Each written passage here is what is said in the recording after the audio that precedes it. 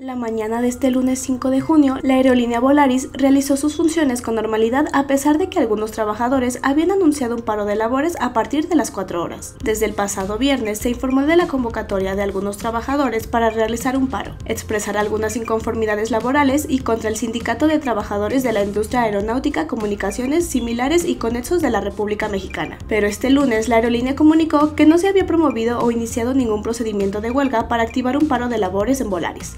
Asimismo, condenaron la acción de generar incertidumbre y confusión entre los trabajadores de la industria y los usuarios. De igual forma, destacaron que la empresa se veía envuelta en una campaña de desprestigio mediante llamados anónimos y fuera de la representación sindical.